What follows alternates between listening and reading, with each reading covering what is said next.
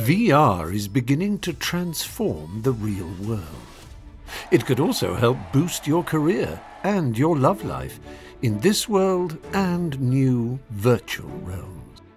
It all stems from VR's visceral feeling of presence, which is difficult to appreciate without trying it yourself. When I put the index on, my opinion changed immediately. Oh man, look at this.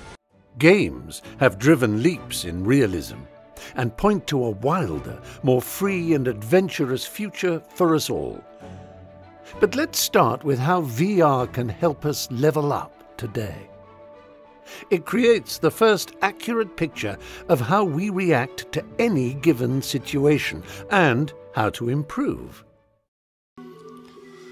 Well, it's quite, um, you do feel quite intimidated without actually experiencing that in the real world. You're not going to know how you're going to deal with it. Everybody down on the ground! Today's gonna be different. Hi. God, this isn't you. You don't do this, man. Maybe I do.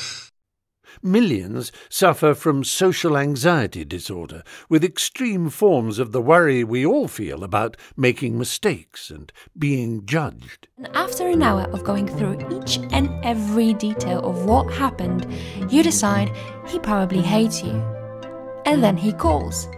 It's a call you will not answer, and you'll try hard to avoid the guy because you really like him, which makes no sense. I guess I come off as uninterested or rude, but in reality, I'm just too terrified to speak. Therapy often involves imagining situations, but it's easy to project negative outcomes. Ooh, that, that stings, Rance. Yeah, that stings. Studies have shown VR to be a powerful tool, and it's also used to beat specific phobias like public speaking, heights, and bugs. VR tricks the brain, creating a very real sense of presence. Gradually increasing exposure to a stressful situation removes the fear factor. Uh, we did a trial with people with fear of heights, and the average reduction in fear was down by two thirds. Any social situation that uh, has an element of uh, difficulty, VR could be absolutely fantastic. They can go into situations they find challenging and attempt to do them in a different way. Phew, this is scary. He's just resting. Our bodies are also venturing into virtual worlds. Haptic suits are used in training for rescue services, and some games allow you to feel impacts on your head, front, and back. How long until the sense of touch is extended to other regions? VR is also transforming the familiar, from the humble swing to fairground rides.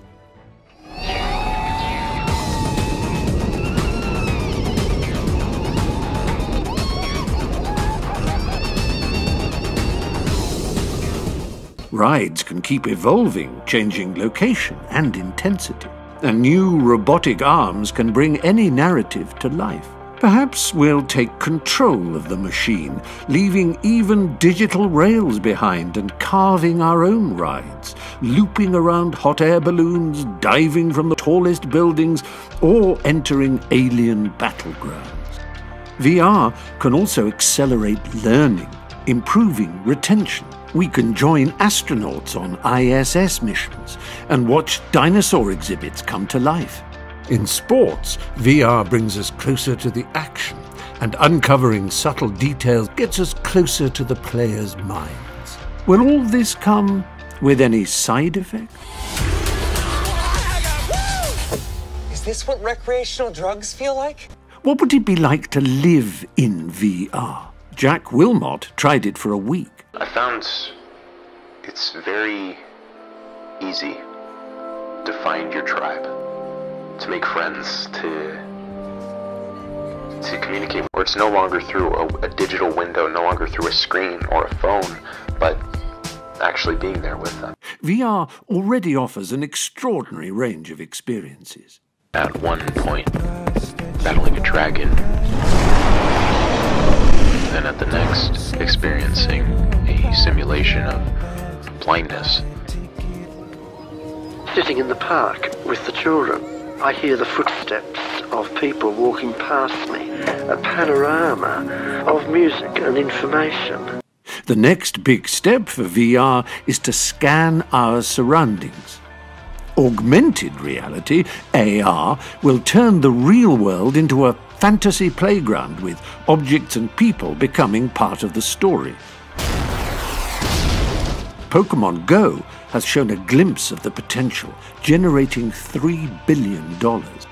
Big tech firms are quietly hiring teams and filing patents, and the iPad Pro's LiDAR scanner hints at what's to come.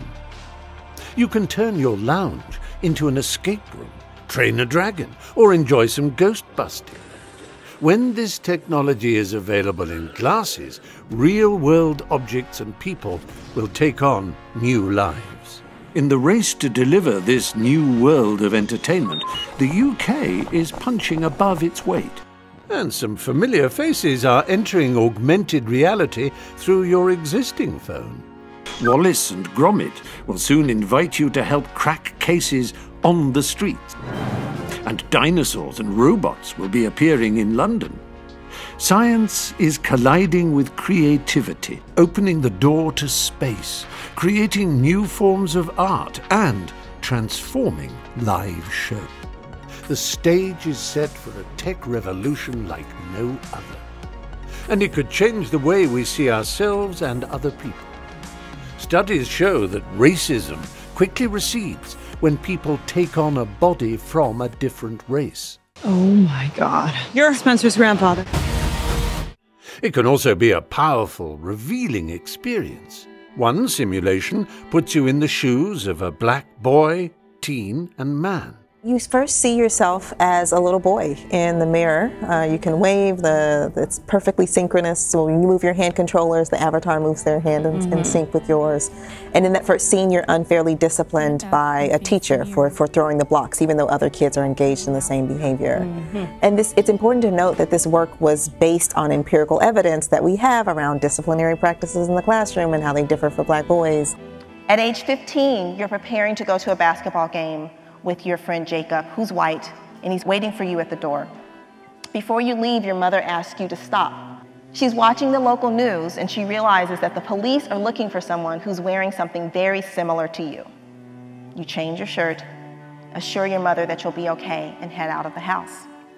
Jacob decides to run and catch the bus so that you're not late. As soon as you make the same choice to jaywalk, you're accosted by police officers who instruct you the user in the headset to get on your knees and put your hands up. This might seem extreme, but it's based on real data on stop and frisk practices in New York City. The simulation will help train leaders and police. Previous studies have shown that simply occupying a body in VR has a lasting effect. The reasons aren't yet clear, but researchers believe that identifying as part of the group automatically shifts our perspective on the biased information that we all subconsciously absorb. VR will also enable us to visit historic moments. We are recreating the 1963 March on Washington for Jobs and Freedom, allowing visitors to experience that moment in history firsthand and to see for the first time ever in VR Dr. King deliver the dream speech. New devices constantly create more realistic simulations, and the sense of touch is being refined. How long until you question if that's air you're breathing? I took off the headset and noticed how our living room is not as beautiful as what's through the looking glass. Consoles arriving later this year may offer a gateway to immersive VR for millions. How will we fare in an increasingly mixed reality? VR will mean the freedom to explore other realms and our inner worlds. Ultimately, perhaps we will all have avatars, new lives without limits. Guy, this world, it's a video game. Who will you be? Who will you love? I'm not going to be the good guy. I'm going to be the great guy. okay. Well, enjoy your lifetime supply of virginity. And what might we learn about ourselves? Oh my god. Your What the hell is this? It's your strengths and weaknesses. Smoldering intensity? It's a stupid face you make, huh? Today's VR may be a taste of a distant future where we migrate to digital worlds, more focused on discovery, creativity, and fun.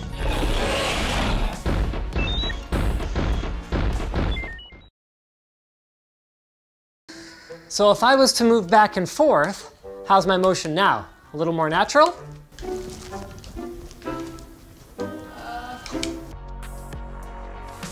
Ow! What happened? I looked out the window and, and And decapitated yourself?